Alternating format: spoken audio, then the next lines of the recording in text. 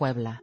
Una patrulla quemada y otra más volcada, fue el saldo de un intento de linchamiento a manos de pobladores del municipio poblano de Santa Rita Tlahuapan.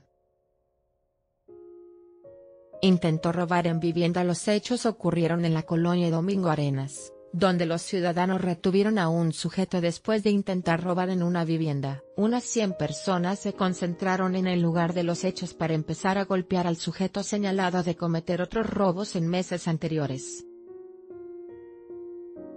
Minutos más tarde arribó la policía municipal, y se llevó al individuo a los separos de la comandancia de Santa Rita Tlahuapan. Sacaron al sujeto de los separos la situación se tranquilizó por unas horas pero la población se enteró que el presunto ladrón estaba en la comandancia.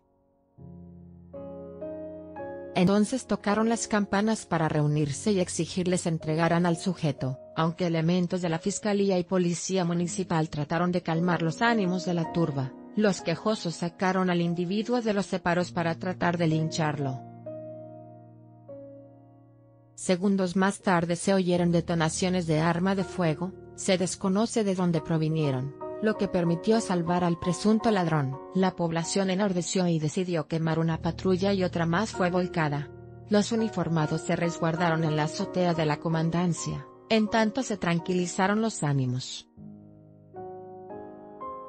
Intentos recientes El jueves pasado, un maestro de primaria estuvo a punto de ser linchado por padres de alumnos, lo acusan de abuso sexual contra varias estudiantes. El hecho ocurrió en la primaria Niños Héroes de la comunidad de Milpillas, cuando los padres y familiares se reunieron afuera de la escuela, le pidieron explicaciones al maestro sobre el presunto abuso sexual hacia cinco alumnas.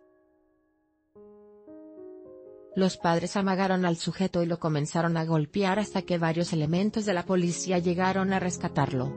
Sobre este caso, ayer viernes un juez libró la orden de aprehensión contra el maestro por indicios de que abusó sexualmente de tres niñas.